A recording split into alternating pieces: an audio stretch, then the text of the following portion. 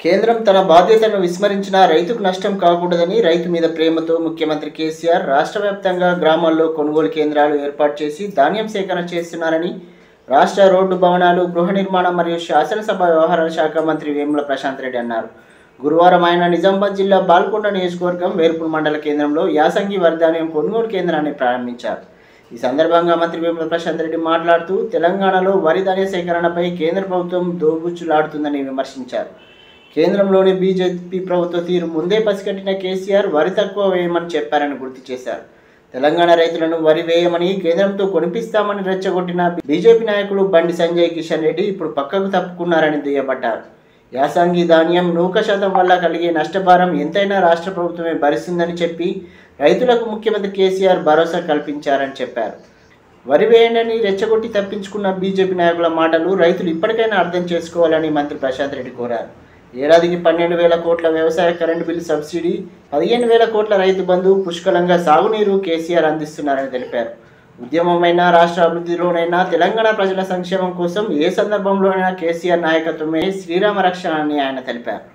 తీసుకునే బాధ్యత కలిగినట్టు కేంద్ర ప్రభుత్వం గత నెలన్నర రెండు నెలలుగా తెలంగాణ రైతులతో తెలంగాణ ప్రభుత్వంతో మంత్రుల బృందంతో ఎంపీల బృందంతో దోబూచులాడుతూ ఉన్నది. రోజుకో మాట చెప్తా ఉన్నారు ఢిల్లీలో వాళ్ళ మంత్రి ఒక మాట చెప్తాడు. రాష్ట్రంలో వాళ్ళ పార్టీ అధ్యక్షుడు ఒక మాట చెప్తాడు. ఇట్లా మనల్ని అయోమయం గురి చేసిరు మేము ఢిల్లీకి వెళ్ళినప్పుడేమో అక్కడ కేంద్ర మంత్రి అంటాడు మీ బియ్యం వ్యాసంగిలో మీ వడ్లు పట్టిస్తే ఆ బియ్యంలో నూకలు ఎక్కువ వస్తే మాకు దుకాణాలలో అమ్ముడు పోదు నూ- ఆ బియ్యం. కాబట్టి మేము తీసుకోము అంటాడు. ఇక్కడేమో బీజేపీ రాష్ట్ర అధ్యక్షుడేమో లేదు వరి వెయ్యండి ముఖ్యమంత్రి గారు మొదలై కేంద్ర ప్రభుత్వం చేతులు ఎత్తేసేటట్టు ఉన్నది అని చెప్పి పోయిన సంవత్సరమే గ్రహించి కొద్దిగా వరి తక్కువ వేయండి అని చెప్పి రైతుల్ని ప్రాధేయపడితే ముఖ్యమంత్రి గారు ఈ వ్యాసంగిలో. బీజేపీ రాష్ట్ర అధ్యక్షుడు బండి సంజయ్ గారేమో లేదు వ్యాసంగిలో వరి వేయండి మేము కేంద్ర ప్రభుత్వంతో కొనిపిస్తాం అని చెప్పి రైతుల్ని రెచ్చగొట్టి వరి వేపించి ఇవాళ టైంకు పంట వచ్చే సమయానికి లేదు లేదు మీ దాంట్లో నూకలు వస్తాయి మేము తీసుకోమన్న మాట మాట్లాడుతున్నాం ఇది చాలా అన్యాయం.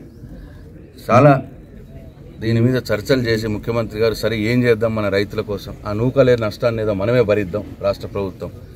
ఈసారికి మరి చేద్దాం ఇట్లా అని చెప్పి నిర్ణయం తీసుకున్నారు వారు నేను నిజంగా నిజామాబాద్ జిల్లా రైతుల పక్షాన మా బాల్కొండ నియోజకవర్గ రైతుల పక్షాన నా పక్షాన వారు నేను నిజంగా జిల్- నిజామాబాద్ జిల్లా రైతుల పక్షాన మా బాల్కొండ నియోజకవర్గ రైతుల పక్షాన నా పక్షాన గౌరవ ముఖ్యమంత్రి గారికి నా హృదయపూర్వక ధన్యవాదాలు తెలియజేస్తా ఉన్నాను. ఏనాటికైనా ఎప్పటికైనా కేసీఆరే తెలంగాణ రైతుకు శ్రీరామ రక్ష అన్న మాట మరొకసారి రుజువైంది. చాలా సందర్భాల్లో రుజువైంది. ఇప్పుడు మళ్ళీ ఒకసారి రుజువైంది. ఇది ఎవరు అవునన్నా కాదన్నా కాదని లేని సత్యం. ఎందుకంటే ఆయన చేస్తున్నట్టు పనులే దీనికి ఉదాహరణ. సం- ప్రతి సంవత్సరం పదిహేను వేల కోట్ల రూపాయలు రైతు బంధుతో రైతు తెలంగాణ రైతులకు ఇస్తూ ఉన్నారు. పన్నెండు వేల కోట్ల రూపాయలు ఇరవై నాలుగు గంటల విద్యుత్ కోసం సబ్సిడీ కోసం ఆయన ఖర్చు పెడతా ఉన్నారు. ఇట్లా వందల కోట్ల రూపాయలతో చెక్ డ్యామ్లు కట్టిస్తూ ఉన్నారు. రివర్స్ పంపింగ్ కాళేశ్వరం ప్రాజెక్టు తీసుకొని కాళేశ్వరం నుంచి పోచంపాడుకు రివర్స్లో నీళ్ళు తీసుకొచ్చి పోచంపాడు నింపుతా ఉన్నారు. కాళేశ్వరం నుంచి నీళ్ళు తీసుకు కొండపోచమ్మ సాగర్ తీసుకొచ్చి అక్కడి నుంచి నిజాం సాగర్ నింపుతా ఉన్నారు నల్దివాగు ద్వారా. ఇట్లా అనేక కార్యక్రమాలు ఇవాళ తెలంగాణ రైతు కోసం కేసీఆర్ గారు చేస్తున్నారు. ఈ ఒకటే పని కేంద్ర ప్రభుత్వం. పండిన పంటను మనం వాడుకోగా మిగిలిన పంటను కేంద్ర ప్రభుత్వం కొనుగోలు చేయాలి అది వాళ్ళ బాధ్యత.